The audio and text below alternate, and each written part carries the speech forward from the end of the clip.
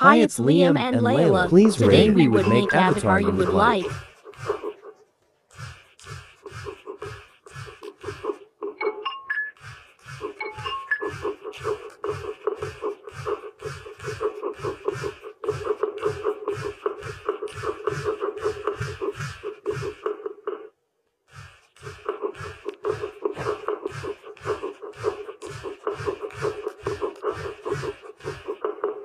Now please rate it.